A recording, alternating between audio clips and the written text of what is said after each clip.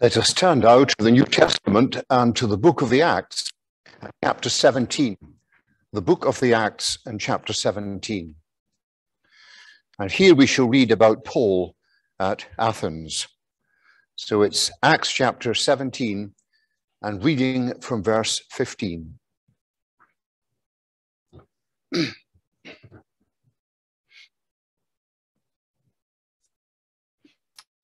Acts 17, reading at verse 15. And they that conducted Paul brought him unto Athens, and receiving a commandment unto Silas and Timotheus for to come to him, with all speed they departed. Now, while Paul waited for them at Athens, his spirit was stirred in him when he saw the city wholly given to idolatry. Therefore disputed he in the synagogue with the Jews and with the devout persons, and in the market daily with them that met with him. Then certain philosophers of the Epicureans and of the Stoics encountered him. And some said, What will this babbler say? Others, some, he seemeth to be a setter forth of strange gods, because he preached unto them Jesus and the resurrection. And they took him and brought him unto Areopagus, saying, May we know what this new doctrine whereof thou speakest is. For thou bringest certain strange things to our ears. We would know, therefore, what these things mean. For all the Athenians and strangers which were there spent their time in nothing else but either to tell or to hear some new thing. Then Paul stood in the midst of Mars Hill and said, Ye men of Athens, I perceive that in all things ye are too superstitious. For as I passed by and beheld your devotions, I found an altar with this inscription to the unknown God. Whom therefore ye ignorantly worship, him declare I unto you, God that made the world and all things therein, seeing that he is Lord of heaven and earth, dwelleth not in temples made with hands, neither is worshipped with men's hands, as though he needed anything, seeing he giveth to all life and breath and all things, and hath made of one blood all nations of men, for to dwell on the earth, to dwell on all the face of the earth, and hath determined the times before appointed and the bounds of their habitation that they should seek the Lord, if happily they might feel after him and find him, though he is not far from every one of us. For in him we live and move and have our being. As certain also of your own poets have said, for we all are also his offspring. For as much then as we are the offspring of God, we ought not to think that the Godhead is like unto gold or silver or stone, graven by art and man's device. And the thing, the times of this ignorance, God winked at, but now commandeth all men everywhere to repent, because he hath appointed a day in which he will judge the world in righteousness by that man whom he hath ordained, whereof he hath given assurance unto all men, in that he hath raised him from the dead. And when they heard of the resurrection of the dead, some mocked, and others said, We will hear thee again of this matter. So Paul departed from among them. Howbeit, certain men clave unto him and believed, among the which was Dionysius the Areopagite, and a woman named Damaris, and others with them. I'm sure that God will bless to us this passage from his word. For those who take the Bible seriously, Luke, the author of Acts, is regarded as a faithful and accurate historian. So the book of the Acts is the second volume of his history of the beginnings of Christianity. And Acts, the book of the Acts, charts the progress of the gospel through the missionary activities of Paul the Apostle. And here we find Paul not at the center of the political world, which is Rome at that time, but in the then, but in Athens, which was still regarded as the intellectual and cultural capital of the ancient world. And the importance of this passage is that Luke records, he records for us the content of Paul's address before the Areopagus. We read in verse 15 those who conducted Paul, notice, brought him as far as Athens, and he is there waiting for the arrival of Silas and Timothy. What this section shows to us, if we take it alongside the passage in Lystra in Acts chapter 14 and verse number 20, is how Paul, in both of these passages, engages with pagan popular religion. And here we find Paul, the Jew from Tarsus, in a city made famous by Socrates and by Plato and by Aristotle. And although its greatest days were past, Athens was still the intellectual and artistic capital of the world. It was also the capital of Greek mythology. Look at verse 16. In verse 16, we read, While Paul was waiting there in Athens, he was obviously exploring the city. And we read in verse 16 that his spirit was stirred or provoked within him, says another translation. And what provoked this? Well, it was the sight of the city wholly given over to idolatry. In verse number 17, we read that Paul's first point of contact was with his own people, the Jews, and therefore the synagogue. And there he disputed with them. And secondly, in the marketplace. Athens, it was a cosmopolitan city. And there would be people from all over the ancient world who had come to Athens. In verse number 18, Luke identifies two groups of philosophers from two contrasting schools of thought. And here they intervene and they want to hear more of what Paul has to say. Paul was disputing, we read, in the marketplace the civic center of Athens. Luke records two things here, two observations about Paul. First of all, he is called by the people there in Athens, notice, a babbler. Secondly, a setter forth, notice, of strange gods. Now, what we need to appreciate here is that many of the cities in the ancient world were associated with specific gods. And we think of the prime example of this in Ephesus. You remember the cry, Great is Diana of the Ephesians. Diana, the god Diana, was associated with that city. And that is why they say here, a setter forth of strange gods that was not known to them. Notice what it says here because he preached Jesus and the resurrection. And so here, Paul had a definite Christian content to his message, at least at this point. But they wanted, they wanted to hear more. And so they bring him to Areopagus. This was a more formal setting. This was a more formal setting. This is not like Speaker's Corner in London. Oh no. This was more like a court where his views could be given a more rigorous hearing. Sometimes it is called Mars Hill. And here Paul is brought before this body to give a more formal account of what he believed, of what he was teaching. Now, before we look at what Paul says to them, we need to summarize very briefly, very briefly, the main salient points of these two different philosophical schools, the Stoics and the Epicureans.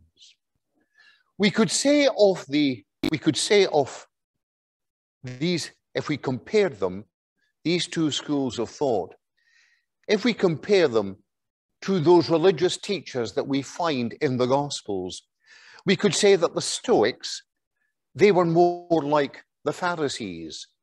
And we could say that the Epicureans were more like the Sadducees.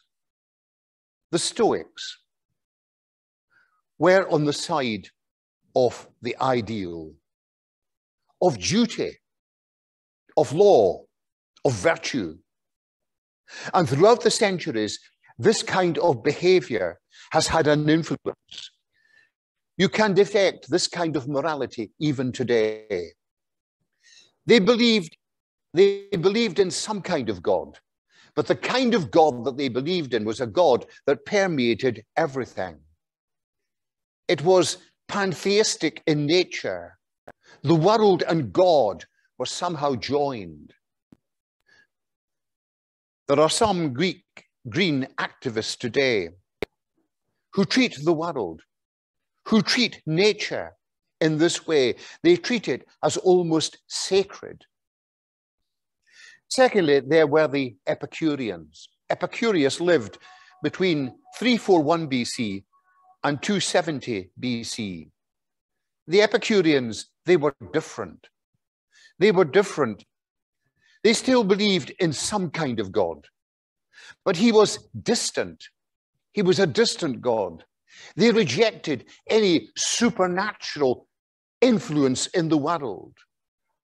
They were more practical. Life was for living. Their life was directed toward happiness. And they could be identified today with modern day materialists. Like the Sadducees, they did not believe in resurrection, nor in the survival of the human soul. Now, those in Athens, they loved to debate. They loved to hear new things. Look at verse 21. And verse 21 says that they spent their time in nothing else but either to tell or to hear some new thing. In other words, they were into speculative thinking, into speculative thinking. Look at the beginning of verse 22. And here at the beginning of verse 22, we read here that Paul stood in the midst. And these words, they give us a sense of the occasion that Paul stands in the midst of them to declare what he has to say. And what does Paul say about them? Well, he says that they are too superstitious or religious. And here Paul starts with a point of contact. Here Paul starts with a point of contact. These people, they were not atheists, not atheists in the modern, absolute, modern sense. They did believe, these people, in another realm. They did believe in recognizing this because all over Athens there were idols and there were temples. This audience, of course, it had no background in Judaism. They did worship, they were religious. And that was present all around in their idols, in their temples. But they did not worship the God of the Bible. They were idolatrous. And Paul begins with a point of contact, with a reference to an altar that he had seen whilst walking around Athens. And in verse number 23, Luke records for us what was recorded on or written on that altar. And Paul draws attention to it. It is an altar to an unknown God. This altar provided the perfect parable of pagan religion. In other words, this is a God they did not nor could not know. This is a God that they did not nor could not know, an unknown God. But Paul can talk here about a God that can be known. And the truth about him, the truth about him can be articulated. It can be embraced. It can be believed. And Paul ends in verse 23 by saying, Him, notice, declare I unto you. Him, singular, personal. Him, declare I unto you. To many people, to many modern people with all sorts of different kinds of spirituality. They believe in some kind of God, perhaps shrouded in mystery, perhaps some kind of presence in the world, some kind of influence that we can encounter. But the God of the Bible can be known. Can be known because he has given himself to be known. He is the God who has spoken, the God who has revealed himself. He has spoken to us, disclosed himself to us supremely in the Lord Jesus. And when Paul says in verse 23, Him declare I unto you, says another translation, What therefore you worship as unknown, this I proclaim to you. And although it is true that God is ineffable. And ultimately, ultimately, he is beyond words and beyond concepts as he is himself. Yet we can still know this God, not exhaustively. And we can make affirmations about this God, and that is important. But who this God is, is explained by God, by Paul here. Who this God is, is explained by Paul here in two ways. First of all, in his relationship to the world, in his relationship to the universe. Secondly, in his relationship to humankind. First of all, then, in his relationship to the world, to the universe. Look at verse number 24. God that made the world and all things therein. This world in which we live is not self existing. Paul takes God as the creator as his starting point here. He takes God as creator as his starting point. And two things can be said about this God. First of all, this God is one, he is singular. And what Paul is saying here, secondly, is that this world was not created by a community of gods a number of gods, a committee of gods. There is only one God who is the creator. We think of the first words of the Bible. In the beginning, God created the heavens and the earth. And Paul makes the same claim at Lystra in Acts chapter 14 and verse 15. And here we see the lordship of God, the supremacy of God. He is the only God who is the creator God. Now, of course, this would not be totally unfamiliar to the Greeks. They believed in God or in gods. A god or gods who was involved in bringing the, the world to be what it was. But notice these words bringing the world to be what it was. But so many of them believe that the stuff of the universe, this world, has always existed. For example, Aristotle, the Greek philosopher, believed that the world was eternal and how that God somehow shaped pre existing material into the dimensions of this present world. In other words, they are saying that matter is eternal. They did not believe in creation out of nothing. And this, of course, this, of course, is the main point of contention with the so called new atheists. They may be hooked on the Big Bang origins of the universe. But the question is how did it come into existence?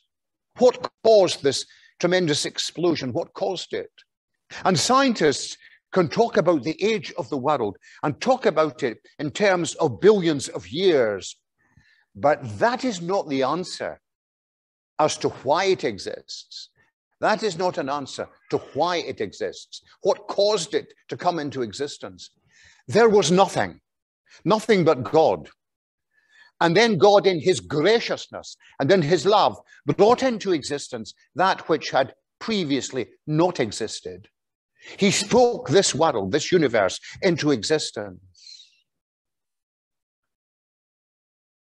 And because he made it, Paul says here, he is the Lord of heaven and earth. And notice what Paul says not only made the world, but everything in it.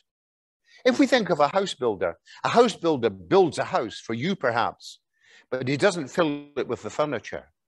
And what Paul is saying here is God not only made the universe, not only made the world, but everything in it as well.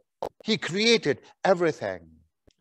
What we need to appreciate is that God and the world are not identical. God and the world are not identical. And these words tell us two things.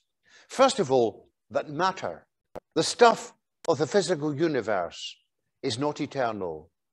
And secondly, the world in which we live was not brought into existence by a chance collision of atoms, but rather that God made it. And it follows, therefore, that the God who made this vast, unmeasurable universe cannot be, he cannot be confined to anything made by man. He cannot be confined into man made structures. Walls built by humans cannot contain, cannot confine this God. If you read, for example, Psalm 139, that wonderful psalm with its breathtaking, beautiful language, it speaks of the God who is there. Wherever we might go in the universe, he is there. He is there. Now, in this passage, Paul speaks about idols and he speaks about temples. Idols, of course, are the products of people's imaginations. But temples are slightly different. You think, for example, of the temple at Jerusalem, and God's presence was there, but it was not confined there. He is perfect in every way, this God that Paul proclaims, affirms, in knowledge, in power, in majesty, but in love and grace. Rather, says Paul, the opposite is the case. Says the end of verse 25, notice, He giveth to all life and breath and all things. Life is not an independent principle. It comes, it comes to everyone. It comes to everything that lives. But it comes from everything that lives. It comes to everything that lives from one source, from God Himself. From this one God, says Paul, there flows all that is. But the universe, the universe includes, the world includes us, includes us humans. And so Paul, secondly, here deals with this God's relationship to the human race. Look at verse 26. And now Paul turns from God's relationship to the world to God's relationship to human beings. He has made notice of one blood, all nations of men. Human beings are not the crowning apex of an evolutionary process. They are unique. They are made in the image of God by God. But if God is and is the creator of man, we see next his providence and his predestination. Not predestination here to salvation, but we see his providence and his predestination. For God, notice, has determined the times before appointed and the bounds of their habitation. History of the human history of the human race is not just a series of random events. He is the preserver he is the orderer of all that he has made. He is not some local deity linked to only one people, one nation. Oh no. This is the universal Lord. This is a very big God. The new RSV says at the beginning of verse 26 From one ancestor, he has made all nations. And that refers, presumably, of course, to Adam, to Adam. Now, of course, this is dismissed, has been dismissed for some time as rubbish. that the human race could have come from one set of ancestors, Adam and Eve. But recently, recently, computer modeling has shown that this is not impossible, that this is not impossible. And people, of course, that take the Bible seriously believe in a literal Adam and Eve, our first parents. And God, notice, has allotted, has determined nations' existence, boundaries as where they should live. And God has given every chance. He has given every chance to seek him. But obviously, this has not been the case. But having stressed, having stressed the transcendence of God, he now turns to the immanence of God, to his nearness. Notice what he says in verse 27. He is not far from every one of us. God, as God, is omnipresent, so that in him we live and move and have our being. But that does not mean that the world and God are one. And in verse 29, he shows that although God is universally near, he is not identified with the world. And that is why idolatry, the making of any material representation of God, is so, is so wrong. Now, up to this point, up to this point, there is much with which they might agree, these Greek philosophers. For many of them, there's nothing startling, nothing new here. But Paul now moves on to the ground of the gospel, and he moves from argument to challenge. It could be argued that up to this point in time of, in Paul's argument, he has been using what is sometimes known as the historical ethnological argument for the existence of God. And the argument is this that in all peoples in the world, in all tribes, wherever they might be, in all their different forms, they have some form of religion. There is a general sense that this world is not all that there is. And Paul here is making this general appeal, this general appeal for the true God over against all these misguided ideas that exist in the world, all the misguided ideas that existed amongst the Athenian philosophers. But now Paul moves onto the ground of the gospel. For notice, the times of this misguided belief have come to an end. For God now commands all people everywhere to repent. Because he has fixed a day, he has appointed the judge, and the judge is the Lord Jesus, who has been raised from the dead. but here now there is a division amongst them. There are different reactions amongst those there, the Areopagus that day. Notice there were some that mocked. There were some that said to Paul, We'll hear you again on this matter. But there were others, notice, that believed. And amongst the believers, there is Dionysius the Areopagite, one from this very court before which Paul had been arguing. Now, a question is raised here. A question is raised, has been raised here about Paul's approach. There is what is known with regard to this passage there is what is known as the failure theory. That is, that taking this line of argument, Paul has departed from the main tenets of the gospel, and that when he went to Corinth, he determined not to know anything but Christ crucified. Now, here we can say, as we draw this little study to a conclusion, we can say three things.